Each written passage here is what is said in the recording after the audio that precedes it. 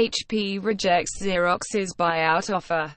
Says it significantly undervalued the company in a letter released on Monday by HP's board of directors. The company rejected Xerox's buyout offer saying that Xerox significantly undervalued HP. We believe it is important to emphasize that we are not dependent on a Xerox combination, HP said. HP also raised concerns over missed consensus revenue estimates in four of the last five quarters by Xerox. Giphy apologizes to Disney after briefly removing Baby Yoda, GIF's American online GIF database.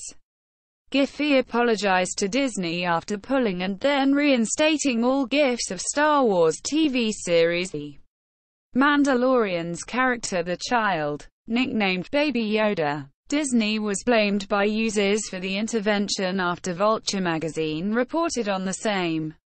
But Giphy clarified that Disney was not to blame as Giphy was reviewing the GIF's copyright status.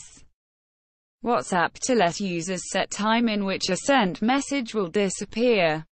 Report WhatsApp is launching a new delete messages feature that will give users five options to choose a time interval in which a sent chat disappears.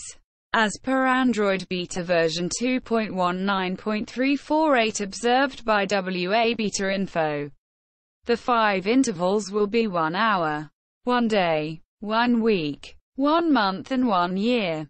It will be available for both personal and group chats. Google fires four employees for data security violations amid protests Google fired four employees, stating that they repeatedly violated data security policies, escalating tension between management and activist workers. The four employees allegedly distributed business information outside the scope of their jobs.